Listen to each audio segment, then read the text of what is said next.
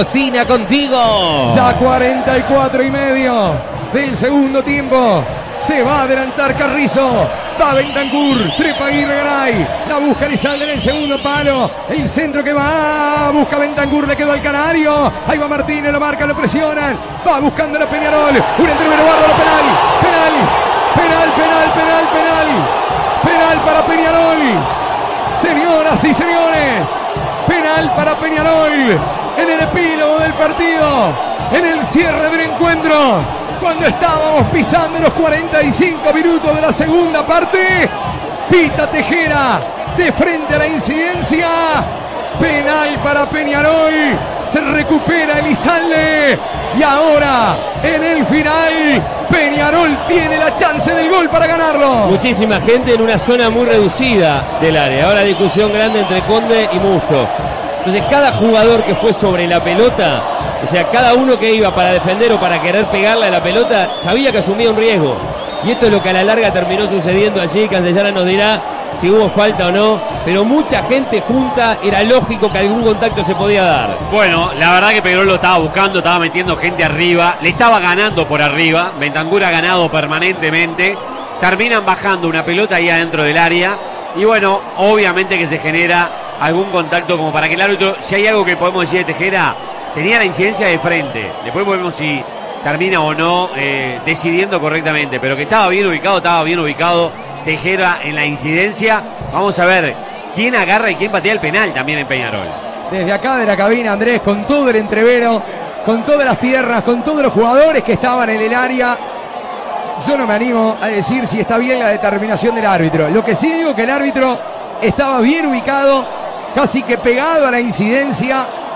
Quiero ver o quiero escuchar lo que me decís vos observando la imagen televisiva, Coco. Estamos observando en este momento la reiteración. Da la sensación de que Silva lo termina tocando a Elizalde. Igual es, es para verlo varias veces, digo. Dejaba alguna reiteración más. Me parece que Silva es el que lo termina tocando. Bueno, atención, señoras y señores. Estamos en 47 casi. Adicionó 5 Tejera y va a adicionar algún minuto más. Va a llegar Rubén Bentancur. La chance para Peñarol de poner el gol que le puede dar el triunfo y los tres puntos al equipo de la Riera. La indicación de Fossati haciendo la seña del bar. Se va a adelantar Bentancur. Lo espera Conde, la figura de la tarde el responsable para este cero en el arco de Danubio. Va a llegar la orden de Tejera. La chance para Bendangur, que hoy fue titular. Va a tomar carrera. Va a llegar Bendangur. Busca el gol de la tarde. Busca el gol de los tres puntos. Busca el gol de la victoria Peñarol. Para orden del árbitro. Atención. Se mueve de un lado al otro Conde. Le marca el paro derecho. Llega o no Bendangur. A ver, a ver. Se dilata todavía la ejecución del penal. Todos se miran. Hay hombres colgados en el alambrado. Hay hombres colgados en el alambrado detrás del arco que defiende Conde y por eso todavía no se hace efectivo el tiro penal. Vimar encontrá las mejores bombas para tu hogar, construcción, industria, guagro. Somos Vimar, somos calidad y respaldo en bombas de agua Vimar. Miguelite 2004. Probaste yerba suave Cabral. Una yerba mate sin hierbas, yerba suave Cabral, suave y aguantadora hasta el final. Probala. Algún día te vas a avivar. Venía Macro. Cuanto más compras, menos pagás. Macro y negocio. Bueno, y acá el hombre, el locutor del estadio, arengando a los hinchas. Allá va a hablar Tejera con Bentancur. Advierte a los jugadores que no se adelanten. Toma carrera el 11. Va a llegar Bentancur definitivamente. La chance para Peñarol.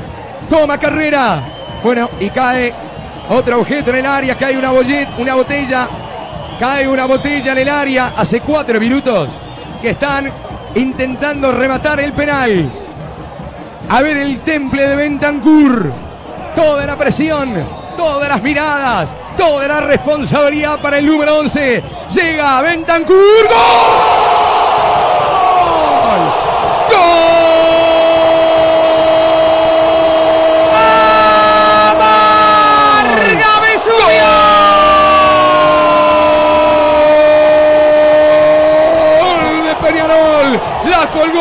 Lo superior izquierdo. Lo hizo Bentancur en el epílogo del partido. Cuando la pelota no entraba porque Conde había sido una muralla a lo largo de toda la tarde. Peñarol encuentra el gol que puede ser el del triunfo. Peñarol encuentra el gol que puede ser el de la victoria. Gana Peñarol 1 a 0. Lo hizo Bentancur. El mejor delantero de Peñarol en el partido agarró la responsabilidad en un momento muy difícil para patear un penal con gran calidad. Mirá que Conde lo trabajó, sin embargo eligió a la izquierda, potencia media altura. Peñarol lo resuelve en la última. Lo tuvieron cuatro minutos esperando para patear. Cualquier otro jugador hubiera perdido el foco. Con muchísima concentración, pero con mucha potencia, termina quebrando el empate en el final. Rubén Bentancur, una carta pesada que se jugó en la riera. Golazo de Cololó. Sport 890.